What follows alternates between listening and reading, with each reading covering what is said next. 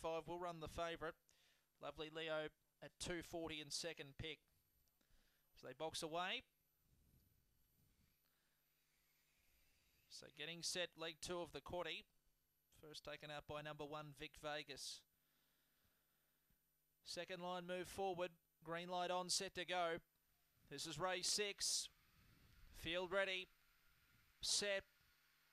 Racing, awesome story away pretty well. Lovely Leo show speed between them. Dark distance goes forward as well, but awesome story up on the inside is going to hold the lead into the first turn. Uh, kept wide, Lovely Leo, but keeps forcing up now about three quarters away in second. Then Dark Distance, Cyclone Jasper. They're tight and compact early. Further back, Cyclone Ranger, Don't Tell Han. Uh, Gap She's a Winger and Serious Monica last down the side. Awesome story extends now. Two lengths in front to Cyclone Jasper. Then Lovely Leo and Dark Distance, but awesome story just a little too good. Awesome story by a widening four will beat Cyclone Jasper. Cyclone Ranger made good late ground to grab third ahead of uh, Dark Distance and then Lovely Leo. Further back, She's a Winger, Don't Tell Hannah and Sirius Monica in around 30 and 90.